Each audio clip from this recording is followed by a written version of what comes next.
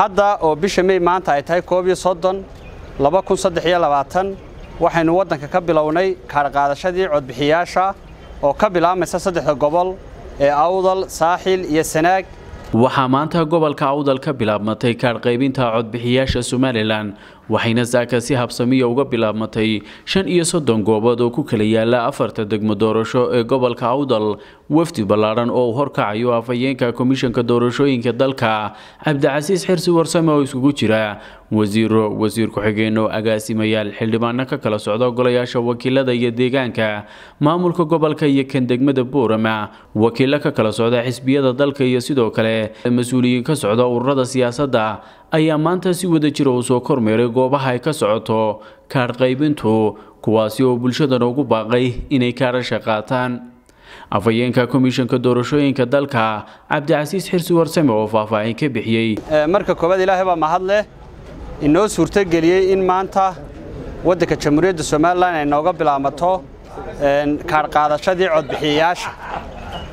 Siaad la wada socoteen sannadkii hore kii bishii disembar ilaa kii januari waxaynu samaynay diiwaangelinta codbixiyayaasha. Hadda oo bisha mey maanta ay tahay waxaynu waddanka ka bilownay kaadhqaadashadii codbixiyaasha oo ka bilaabmaysa saddexda gobol ee awdal saaxil iyo sanaag oo ah gobollada xeebta ah saddexda gobol ee dambe ee sool togdheer iyo maroodjeexna waxay ka bilaabmaysaa labiyo tobanka bisha juun waxayna ku dhammaan doontaa koob iyo labaatanka bisha juun. Waxaa ilaahay mahadiya in dhammaan goobihii gobolka awdal si qurux badan oo wanaagsan ay saakay noogu bilaabmeen. Afarta degme ee kale ah baki lughaya saylac iyo boorame in afarta degmaba si habsamiya dhammaan goobahooda ay u bilaabmeen dadkiina si habsamiya oo qurux badan ay kaadharka u qaadanayaan. Falilaahi alxamdu maanta waxaynu u baahannahay in dadka kaadhka inay qaataan si fiican loogu wacyigeliyo oo gobolka awdal weliba gaar ahaan uu noqdo gobolka ugu kaadhqaadashada badan.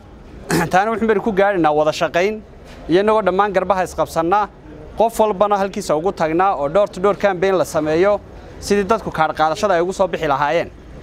Waxaannu aad iyo aad ugu boorrinaa dadweynaha kaadhka qaadanaya inay warqaddii la siiyey markii kaadh la diiwaan geliyey ay soo qaataan oy goobta la yimaadaan wixii intaasi ka dambeeyeyna waxaa hadalka iska daba qaatay mas'uuliyiintii kala duwanaa ee kormeerkani ku wehelinayay afhayeenka. Waxaannu ku bogaadinaynaa dhammaan bulshaweynta reer awdal gaar ahaan degmada boorama dadka deggan inay u soo baxaan sidii qof kasta u qaadan lahaa kaadhkiisii codbixinta. Waxaynu ka warqabnaa in muddada ay soconaya ay tahay toban cisho oo ka bilaabantay maanta. Waxaan rajaynaynaa in wakhtigaasi laga faa'iidaysto dadkuna ay yimaadaan goobaha ay ka socoto kaadhbixintu maanta kolley aniga farxad baa ii dheeroo qofkii horreeyey dee kaadhkiisu soo qaataan ahaa. Kaadh beddel baan samaystay. Kaadhkaygina saaka waanigaasoo waan soo qaatay. Hawshu way fududdahay insha allah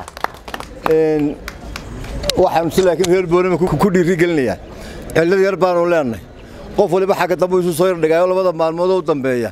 Ayuun baanu rash samaynaa isku buuqnaa. Waar intay faaruqatay cidlada tahay kaarkiinna qof walba ku soo dadaal inaad qaadato. Guud ahaan waxaan leeyahay shacabka odayaashu waa kii dadka xidhnaa waa la sii daayay arrimihii waa la dhameeyey dee farxad inaad kaar ku qaadataan oo aad maadarata u diyaargarowdaan dagaalka doorashada.